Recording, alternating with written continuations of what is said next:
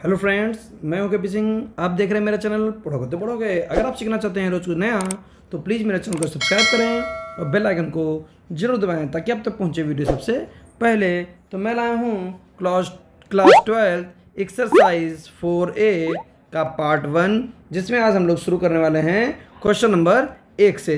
तो फटाफट से सभी लोग ज्वाइन कर लें क्लास को देख लें और ज़रूरी सूचना ये है कि क्लास ट्वेल्थ का न्यू बैच स्टार्ट हो चुका है। शाम को सात बजे प्रॉपर वीडियो आपको मिलती हैं। और अगर ऑनलाइन नोट्स आपको चाहिए तो मेरे व्हाट्सएप नंबर पर मैसेज करें जिससे आपको क्लास को आपको प्रो, क्लास प्रोवाइड करा दी जाए। चलिए हम लोग चलेंगे क्वेश्चन नंबर एक पर। तो क्वेश्चन नंबर एक में क्या कह रहा है? निम्न प्रश्नों के मान ज्ञात कीजिए। बहुत आसान क्वेश्चन है। सारणिक बना हुआ है।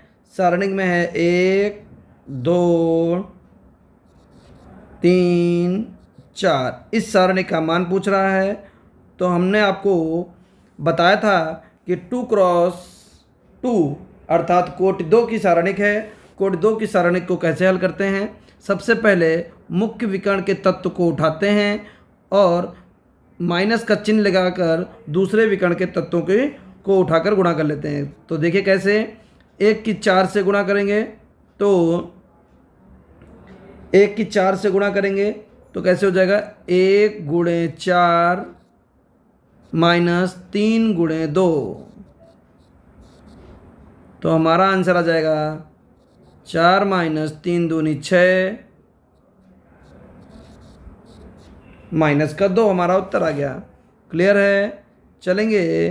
क्वेश्चन नंबर दो पर। बिल्कुल सिंपल क्वेश्चन है। दो, चार, माइनस पाँच, माइनस एक। फिर से क्या करेंगे? मुख्य विकर्ण के तत्वों को उठाएँगे। और गुणा कर करा लेंगे। बीच में माइनस लगाकर दूसरे विकर्ण के तत्व को उठाकर गुणा कराएँगे। तो क्या हो जाएगा? हो जाएगा दो गुणे माइनस एक, बीच में माइनस आ जाएगा। चार गुणे माइनस पाँच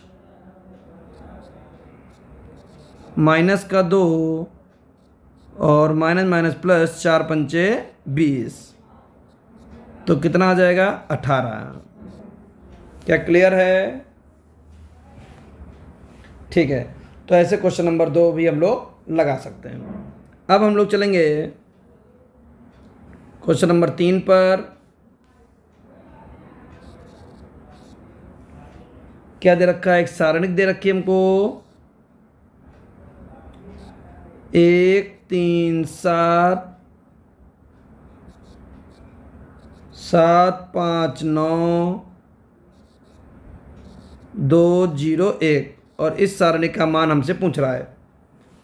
तो देखिए, जब भी आप सारणी का मान निकालें तो आप ये ज़रूर देख लें कि किस सारणी में ज़्यादा से ज़्यादा ज़ीरो हैं, किस सारणी के पंक्ति या स्तंभ में ज़्यादा से ज़्यादा ज़ीरो हैं। तो हम लोगों को यहाँ दिख रहा है कि आर थ्री में एक शून्य हमको मिल रहा है। तो हम क्या करेंगे, इसका आर थ्री से विस्तार कर देंगे। तो लिखेंगे आर थ्री से विस्तार। और आर थ्री से विस्तार करेंगे, हमने आपको इंट्रोडक्शन में बहुत अच्छी तरीके से समझाया था। अगर आपने इंट्रोडक्शन की वीडियो नहीं देखी है तो उसको ज़रूर देख लें। अन्यथा फिर आपको कन्फ्यूज़न बहुत ज़्यादा हो जाएगी और आपको कुछ समझ में नहीं आएगा। हमने कहा था, विकर्ण पर बैठे हुए विकर्ण पर बैठे हुए तत्व, ऐसे ऐसे, ये पॉजिटिव होते हैं। बाकी सारे तत्व कैसे होते हैं? निगेटिव होते हैं। तो यहाँ पर हम सबसे पहले, जब आर थ्री से विस्तार करेंगे तो हमको यहाँ पर जो दो दिख रहा है, ये कैसा होगा? पॉजिटिव होगा। तो हमने दो लिख लिया। अब इससे जाने वाली पंक्ति और स्तंभ को छिपा लेंगे। तो दो से जाने वाला स्तंभ ये है और पंक्ति तो हाईलाइटेड है ही। बचा क्या? बचा तीन की नौ से गुणा, तीन गुणे नौ मुख्य विकर्ण वाला, ये देखिए, हो गई गुणा, फिर लगेगा बीच में माइनस, और फिर दूसरे विकर्ण की गुणा। पाँच गुणे सात। क्या इतनी बात क्लियर है? अगला हमको शून्य दिख रहा है। तो माइनस का शून्य आप लिख सकते हैं। अब शून्य के साथ आपको कुछ करने की ज़रूरत नहीं है। यही बेनिफिट मिल जाता है। फिर अगला तत्व तो है एक। उसका भी चिन्ह प्लस का एक होता है। जरा इसको साफ़ करते हैं। खिचड़ी जो पक गई है यहाँ पर। ठीक है। अब देखिए, जब आपने एक उठाया तो एक से जाने वाला स्तंभ यह है, पंक्ति यह है। इसको छिपा लेंगे। और एक की पाँच से गुणा कराएँगे, माइनस सात की तीन से गुणा करेंगे। पहले मुख्य विकर्ण को लिखेंगे, ये बात ध्यान रखिएगा। तो एक गुणे पाँच, माइनस तीन गुणे सात।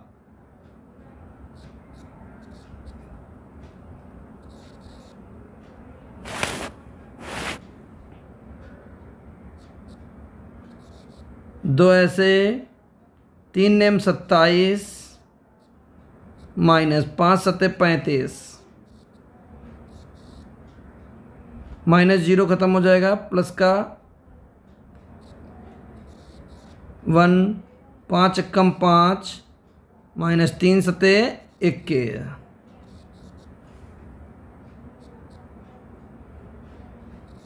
दो, माइनस का आठ प्लस एक माइनस का सोलह। माइनस का सोलह, माइनस का सोलह। आंसर आ जाएगा माइनस का बत्तीस। तो उम्मीद करते हैं कि आपको बहुत अच्छे से समझ में आया होगा। बढ़ेंगे क्वेश्चन नंबर चार पर।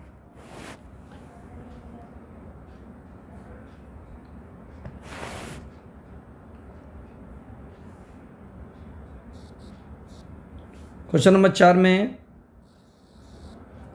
एक सारणिक बनी है। चार ज़ीरो एक, तीन दो तीन। एक दो दो। ये सारणिक है। और हम क्या करेंगे? यहाँ पर हमको शून्य कहाँ मिल रहा है? सी में शून्य मिला तो हम सी से विस्तार करेंगे। तो लिखेंगे सी से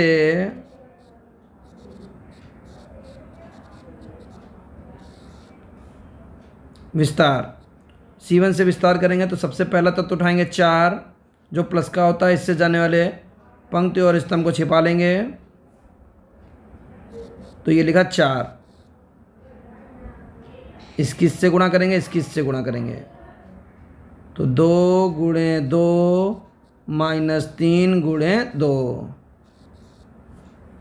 अगला तत्व तो है, प्लस का ज़ीरो, माइनस का एक। ज़ीरो में एक सेकंड वेट करिएगा ज़रा। ये यहाँ पर हटाते थोड़ा सा। हाँ ठीक है। ये हटाना है पहले हमको, ये हटा लेते फिर आगे, आपको आगे समझाते हैं। ठीक है। तो अगला तत्व तो क्या है? ज़ीरो है, जिसका सिंबल माइनस का ज़ीरो होता है। ठीक है, अब जैसे आपको ज़ीरो मिल गया तो कुछ छिपाने की ज़रूरत नहीं है तो ज़ीरो ही आएगा। अब उसके अगला तत्व तो देखिए सीवन में चार के बाद ज़ीरो ज़ीरो के बाद एक, और एक का सिंबल होता प्लस का। तो प्लस एक। अब इस एक से होकर जाने वाला जाने वाली पंक्ति और जाने वाला स्तंभ छिपा लेंगे। इस किस से गुणा करेंगे और इस किस से गुणा करेंगे? तीन गुणे दो माइनस दो गुणे एक।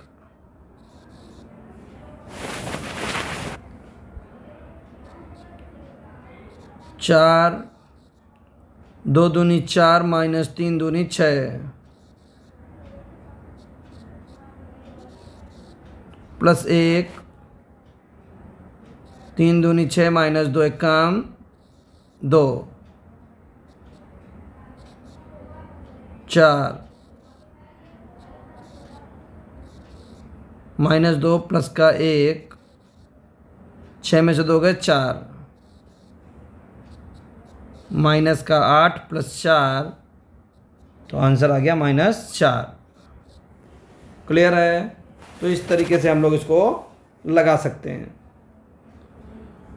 चलिए, चल देते हैं नेक्स्ट क्वेश्चन पर। तो देखिए क्वेश्चन नंबर पाँच में क्या कह रहा है?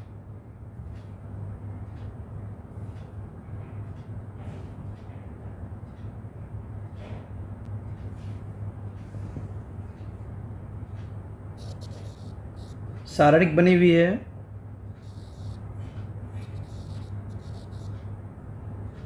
Sec x tan x. Tan x,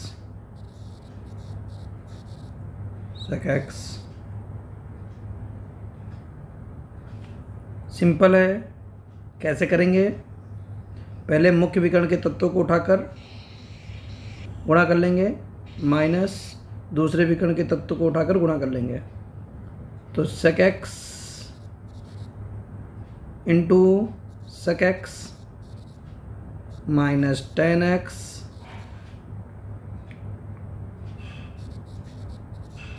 into tan x sec x sec x sec square x हो जाएगा। Tan x tan x tan square x हो जाएगा।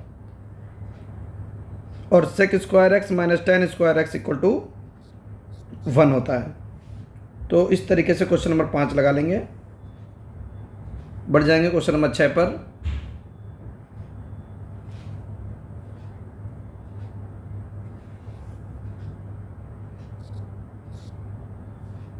क्वेश्चन नंबर छः में कुछ पार्ट हैं, पहला और दूसरा दो पार्ट हैं। तो पहले पार्ट में सारणिक बनी हुई है। Cos x sine x minus sine x into cos x अब क्या करेंगे? हम लोग इसको कैसे हल करेंगे? तो जैसा कि अभी हमने आपको बताया पिछले क्वेश्चन में मुख्य विकर्ण के तत्वों की गुणा करके इनकी गुणा कर लेंगे। तो हो जाएगा कॉस एक्स की कॉस एक्स से गुणा होगी cos square x minus sine x की साइन एक्स से गुणा होगी साइन स्क्वायर एक्स लेकिन माइनस का। तो माइनस माइनस प्लस हो जाएगा जिसका मान एक होता है। Sine square x plus cos square x equal to one होता है। दूसरा क्वेश्चन देखते हैं क्या कह रहा है। दूसरे क्वेश्चन में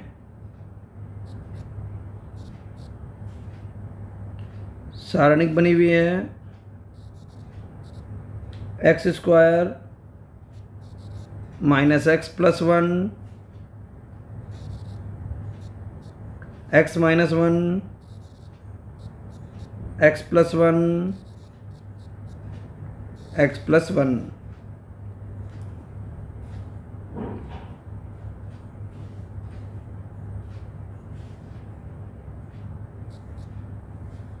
तो देखिए इनकी मल्टीप्लाई करा लेंगे माइनस इन, इनकी मल्टीप्लाई गुणा करा लेंगे।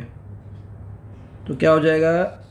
X square minus x plus one की गुणा हो जाएगी एक्स प्लस वन से minus x plus one into x minus one x plus one common मिल रहा है हमको। तो बचा क्या? X square minus x plus one यहाँ बचा माइनस एक्स प्लस वन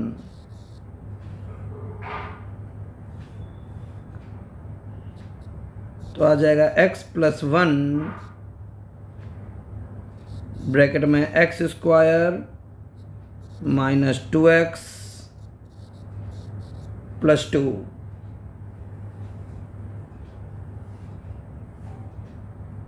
अंदर गुणा करा सकते हैं हम लोग। क्या बन जाएगा?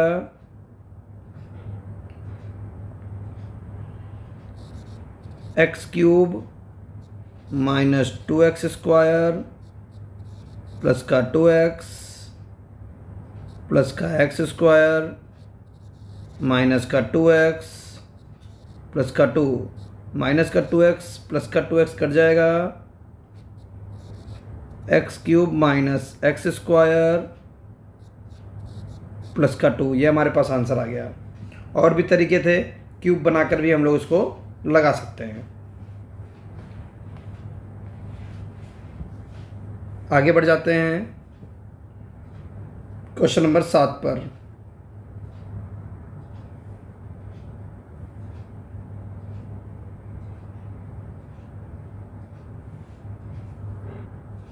क्वेश्चन नंबर सात देखिए।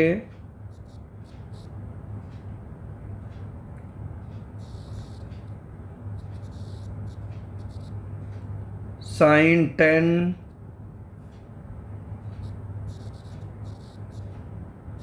minus cos ten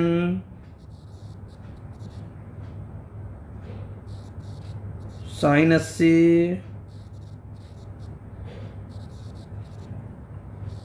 कॉस अस्सी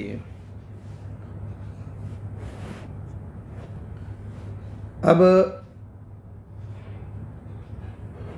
कैसे हल करेंगे?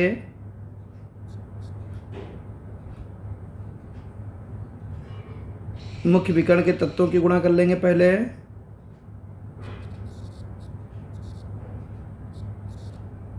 साइन टेन इंटू कॉस अस्सी। Minus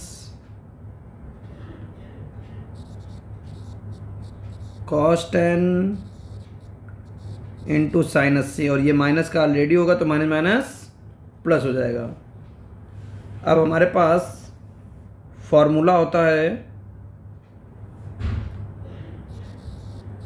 sign A plus B का।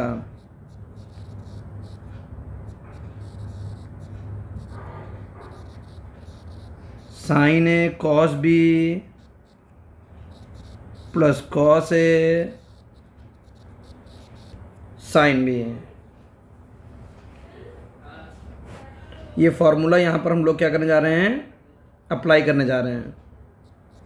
तो sine A cos B plus cos A sine B लिखा हुआ है, यानी इसको हम लिख सकते हैं sine A plus B ten plus eighty तो हो जाएगा साइन नब्बे डिग्री। साइन नब्बे का मान एक होता है। तो इस तरीके से हम लोगों ने क्वेश्चन नंबर सात लगा लिया। चलेंगे क्वेश्चन नंबर आठ पर। बहुत अच्छा क्वेश्चन है। वन ज़ीरो ज़ीरो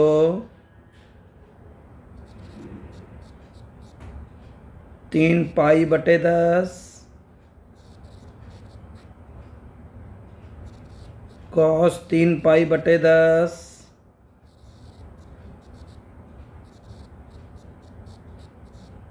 साइन तीन पाई बटे दस। यहाँ हो जाएगा टू पाई बटे दस।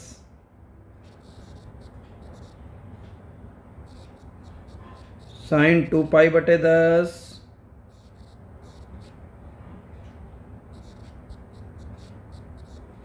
कॉस टू पाई बटे दस।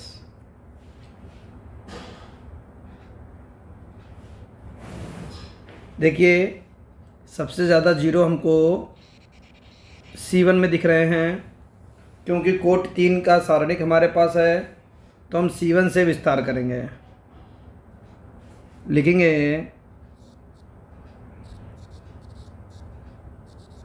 सी वन से विस्तार।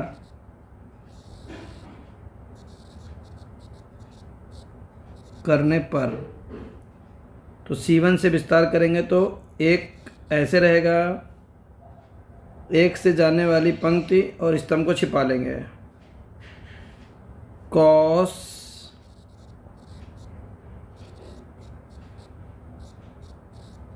तीन पाई गुणे बटे दस इंटू कॉस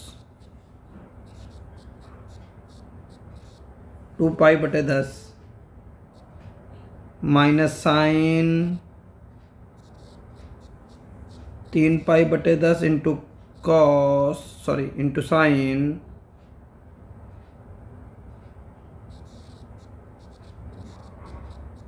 two pi बटे दस। ये कैसे हुआ है? अब जो सारणिक आपको दिख रही है, उसमें हम लोग मुख्य विकर्ण की पहले गुणा कर लेते हैं। माइनस दूसरे विकर्ण के तत्वों की गुणा कर लेते हैं।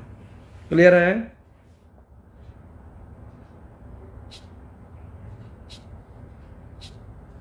अब देखिए, अगला तत्व हमारा क्या है? क्योंकि सी वन से विस्तार कर रहे तो अगला तत्व ज़ीरो उसके अगला तत्व भी जी ज़ीरो पहले ज़ीरो का सिंबल होता है माइनस का, दूसरे ज़ीरो का सिंबल होता है प्लस का। अब माइनस ज़ीरो प्लस ज़ीरो तो गायब हो जाएँगे, पूरे ब्रैकेट की एक से गुणा करेंगे।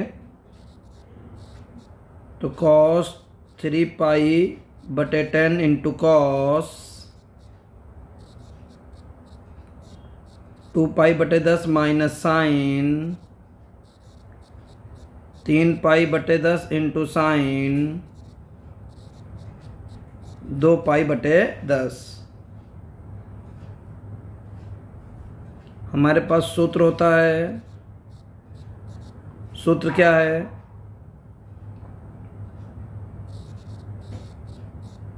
कॉस ए प्लस बी का सूत्र होता है। Cos A into cos B minus sine A into sine B